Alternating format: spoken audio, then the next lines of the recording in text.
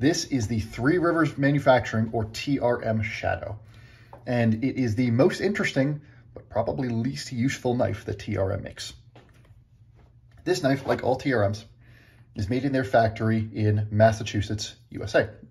Blade here is 20 CV with 90,000 stock, which is quite thin. Huge sheep's foot blade here. Sheep's foot because you got this little curve here. Um, it's a bit of a rising sheep's foot, so it doesn't come straight across. So you do have a bit of a rising tip there, which makes it a little more versatile. Um, four ounces, so it is a little bit chunky, part, largely because it's so tall. Um, and this is a big blade. It's thin, but it's a big blade. And this comes in at about $300. Now you see that $300 between the American manufacturing and just the finishing. And if you know TRM, you know they do good work. Everything is finished very well on the blade. You got a nice plunge. You got a nice even grind here, a great stone wash. Very solid factory edges, not exceptional, but solid even blade stock, a little bit of crowning on the spine there, or just rounding on that edge. Honestly, the stone wash probably does that. The machining on the handles is fantastic. These are black G10. You can also get it in OD green or Concord grape micarta. But you can see here, when you look closely at the handles, everything is pretty much just right. There's a little extra chamfer there for your for your uh, finger. We'll go with that. We'll talk about that in the ergonomics, but there's a contour on the whole handle and all the edges are just very nicely done. This is flush here. There's lots of little machining details on where this lock interface comes out here. Your little backspacer, your G10 backspacer meets the two scales very nicely. You got additional, you know, fullers here, for lack of a better term, for grip. It's just a nicely made handle. And then you've got the river lock, which is TRM's take on a bar style lock or an axis lock. You got an Omega spring in here. When you pull this bar back, the blade will fall. And when you try to open it, you can see here that that little bar moves when I try to open it. That's what provides your detent. It's a bit of a springier detent. You overcome that detent and it flies out. So this is a very fidgety knife design as all bar locks are. Very easy to operate one-handed, very secure. You know, bar locks, despite being quite fidgety, they can take a lot of abuse Benchmade has shown that for years. And the clip is ambidextrous, and in fact, this whole knife is ambidextrous because you can operate that bar lock from both sides easily. One other detail, just a note here, well, you got your seashell detailing on the pivot. TRM does that on their shadows. It's just a nice little visual touch. And then the studs here are TRM's newest thumb studs. They started doing these in 2023. This is their old thumb stud design, which used to be these rounded ones. These were a little harder to get your finger on. These are much more like Chris Reeve thumb studs, and they are objectively better. They are easier to get your fingers onto. They are without wearing on your fingers. You know, you just, the thumb stud position is very natural. This flies out very easily. The action is just great on this. And this thumb stud really does step it up. So if you can get one with these newer thumb studs, it's a significant improvement. One other thing to know about their implementation of the bar lock, if you look from the top, this bar lock sticks way out. And you know, you can also, you can, you've got that screw there. Um, I might even be able to adjust that. That might be a little out now, but this bar lock sticks way out from the handle. And that makes it very easy to pull, very easy to actuate. And this is, if I compare this to a Benchmade, or compare this to a Hogue Ritter here, you can see the bar lock sticks out far less, and these thumb studs stick out far less from the handle on the Hogue than they do, or at least these thumb studs from the blade, than they do in the Shadow. Compare these right there. This knife, the Shadow, is easier to actuate. I like this implementation of the bar lock better than I do in the Hogue. We'll be comparing these knives again in a little bit, but TRM has done the bar lock exceptionally well. There is well, there's the tiniest bit of play if I really try to crank it, but I'm not even sure if that's not just me futzing with the knife. I have never felt play in use with this knife, and I've owned a couple shadows, and none of them have ever had play for me. Some of their earlier shadows did have issues with play. That was, was why it took them a, a year or two to start rolling these out at scale. But these days, TRM shadows are rock solid. This is a great implementation of the bar lock. It's just, it's solid. Last little detail when we're talking through, you know, what's in this knife. Ergonomically, quite neutral. You've got a big sweep across the back here. You know, your palm just rides along that back very easily. There's no thumb ramp, so your thumb slides right up to the top of the blade. A little bit of a hump on the bottom here. Pretty neutral in general. The, the handle narrows toward the back, which does make it very easy and natural to grip on. And you've got a great 50-50 choil here, where the choil's half on the blade, half on the handle. It gives you plenty of space for your finger. And because of how these handles are contoured, and because the blade is still relatively thick, all considering right there, it's just a very comfortable choil to use. And this feels very easy and natural in the hand.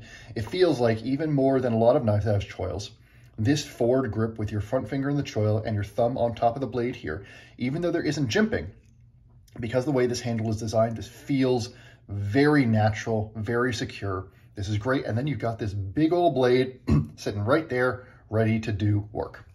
So that is great. The handle design is great. We'll get into the blade design in a second.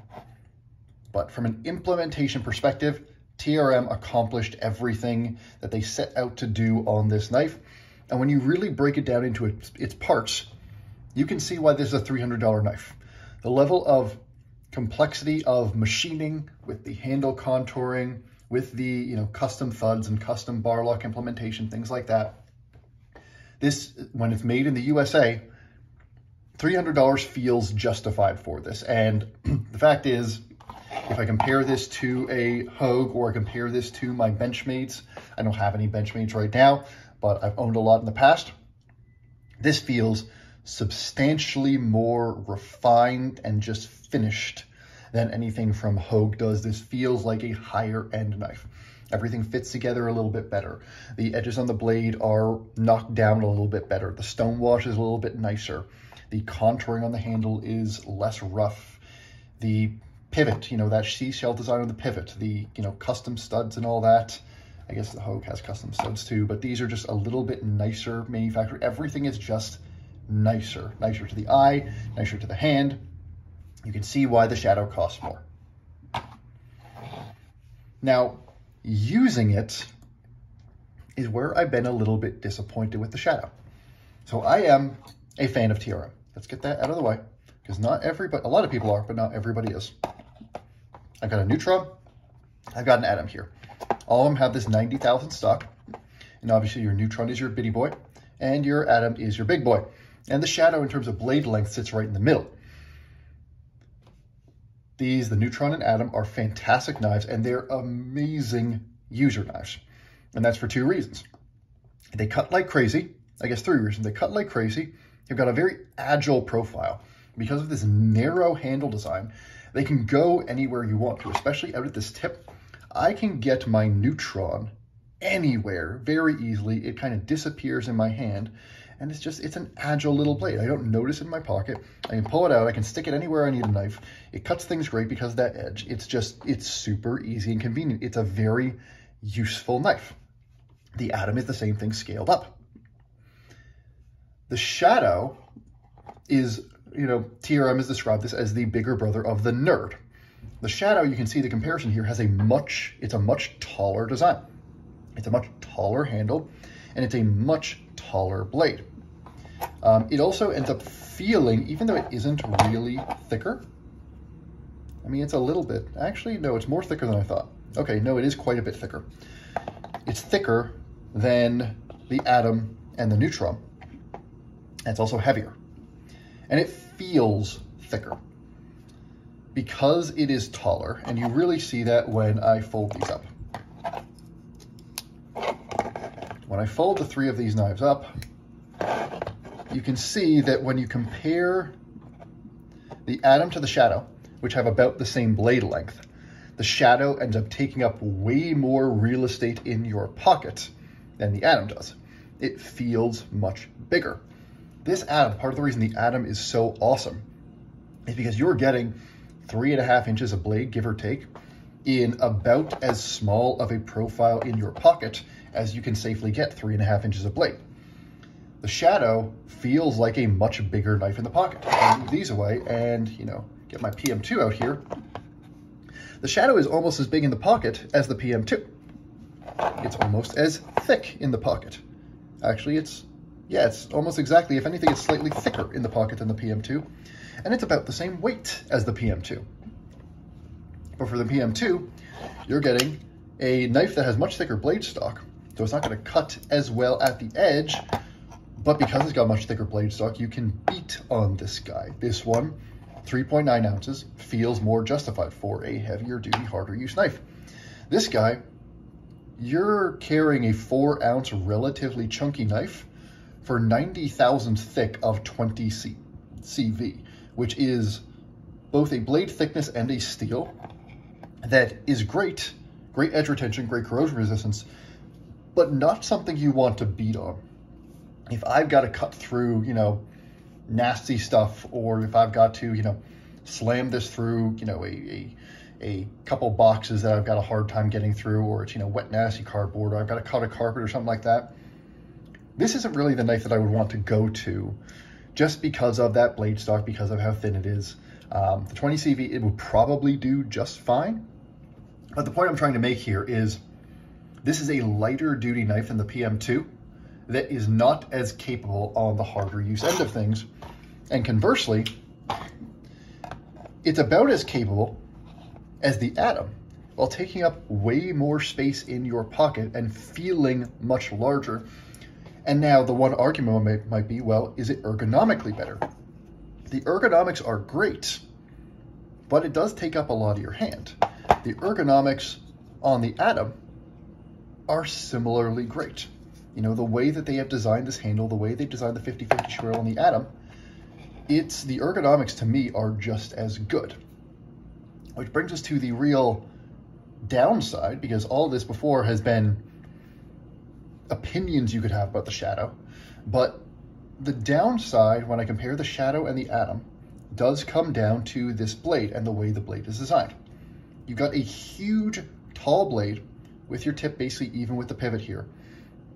And with the Atom and with what TRM has historically done, even with a lot of knives, I'll bring out my Inkosi here.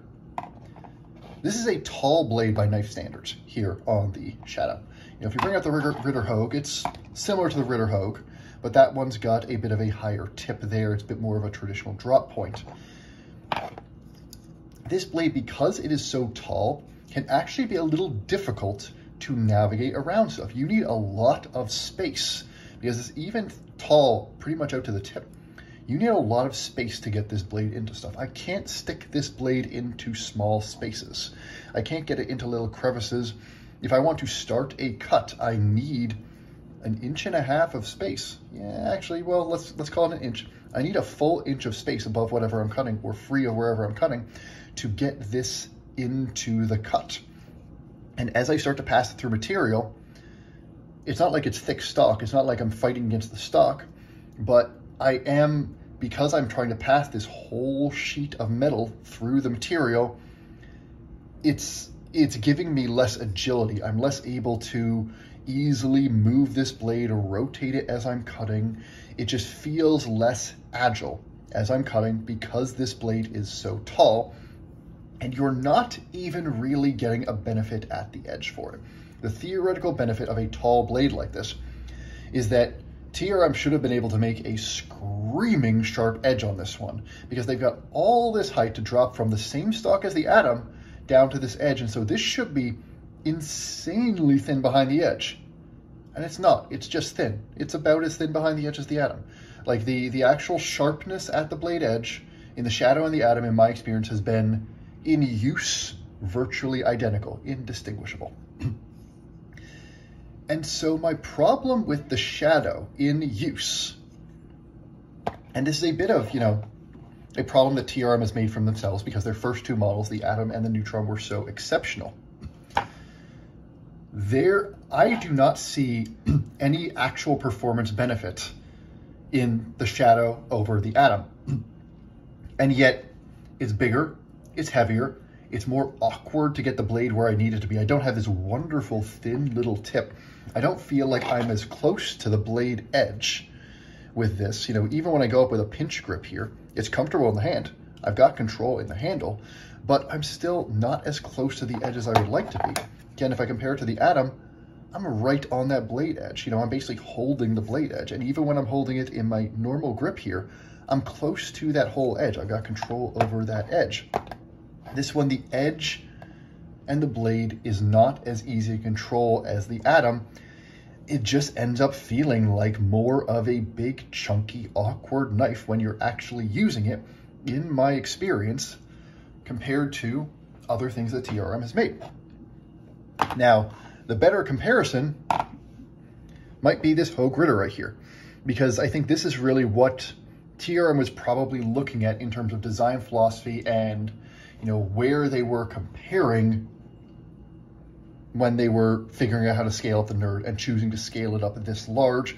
It's very similar in overall size and profile to your Ritter Hogue, which has long been one of the most popular Benchmade alternatives when you want this axis lock here. And the Ritter Hogue is a great knife, and what the Ritter Hogue does really well, and a lot of it has to do with this very natural traditional drop point blade. This is a blade that's relatively thin, but it's got this fat contoured handle. And this is something that can beat way above its weight, the Ritter Hogue. And that's why a lot of people like it. This is a knife that looks, when you look at the blade stock, and when you look at sort of the design of it, it doesn't look like a hard use knife, but then when you grip it in your hand, I mean, the, the, the original name, I mean, this was the Griptilian. This is basically a Griptilian. It's called the Griptilian for a reason. With this jimping up here, this grip back here, it's as secure as any knife you're going to get. You can wail on this thing. This thing does, the Shadow doesn't have nearly that level of grip. It's got a thinner stock and this blade shape is just a little bit less natural than the drop point that the Ritter Hogue has. And so for harder use tasks, it seems to fall short compared to the Ritter Hogue. The manufacturing is way better. The finishing is way nicer. This is a nicer knife. But if I'm going to beat on something, if I'm going to be using a knife in the muck all day, or if I'm going to be, you know, doing home improvement tasks, stuff like that, I'm choosing the Hogue over the Shadow 10 times out of 10 and that's a combination of handle details and blade details. And so that's kind of the problem with where the Shadow sits. This is the third Shadow I've owned. I bought and sold the Shadow twice. And this is my favorite because of this new thumb stud. The new thumb stud is a major improvement, but the Shadow, it's hard to justify from a utilitarian perspective. I don't quite know what job this knife does better than other alternatives that I could get. If I want a knife of this size from TRM, get the Atom. Because for the EDC tasks that TRM knives excel at and that are designed to excel at, they're designed to be thin, easily pocketable knives with wicked sharp edges that excel at your everyday carry tasks. The Shadow is just worse at that stuff than the Atom. And even though the bar lock, the river lock here is executed extremely well, it's not like the liner lock on the Atom was bad. The uh, liner lock on the Atom is great. And unless you really, really want that bar lock, that's the only way that I think the Shadow is better than the Atom. And honestly, that's a matter of opinion. It's not a matter of better or worse. And it's for a knife that is more expensive and I think less capable in terms of both the handle and the blade than the Atom. And if you want it for harder use, just get a Ritter Hogue. If you want a hard use TRM, this is not it. It's not designed to be. The handle does not provide the level of grip and traction. It's smooth. You know, this is nicely contoured. Again, nicely done, nicely manufactured, smooth everywhere. But smooth everywhere means just doesn't give you the kind of grip. There's no jimping. This doesn't lock your hand in like a Ritter Hogue or a Benchmade Griptilian does. It's not really meant to. That's not what they're trying to do. But don't look at this. You know, you look at the profile, you look at the weight, you think, oh, this might be a hard use TRM. It's not. And then you combine that with the fact that the Ritter Hogue is also made in the USA and is about 120 bucks cheaper and has, while a less elegant rendition of the bar lock, it's just as good. It feels just as nice. It opens and closes just as easily. It's just as secure. If you want hard use, get a Ritter Hogue. And so that's where I end up with the Shadow. It's cool, it's fun, and it's objectively a very well-made knife for $300. I can see where the $300 is in here. And it's cool that TRM did it. And I like the idea of TRM doing a bigger nerd. I like them having these two lines. You know, you've got your nerd line. I don't have a nerd with me now, but I have owned nerds before. And you've got your neutron atom line. That's great. That's a great way for them to build their build their brand. But I don't think they really nailed doing a bigger nerd with the shadow. I think they kind of ended up in a no man's land where they have a knife that is less good than knives they already sell at EDC tasks, and a knife that also is not robust enough to really progress to those harder use tasks. And because of this big thick blade, it's just a little more awkward to use and takes up more space in the pocket. It's thicker. I just, I can't see any reason to choose the Shadow over the Atom or Neutron unless you really like the aesthetics, really like the design, or really want that river lock. So if you want a fun, fidgety knife that happens to be made in the USA, and you want one of the best made bar lock designs in America right now, this is a great option. You will be very happy with it, but don't buy this because you think it is a better utilitarian knife than other options on the market. Buy this for the, for the aesthetics, buy this to appreciate the quality of manufacturing and to appreciate what TRM is doing here. Those are great reasons to buy the Shadow. But I think to make the best version of the big nerd, there's probably another iteration coming down the line here. Hope you found this to be a good use of your time. Hope I didn't waste your time, and I will see you again soon.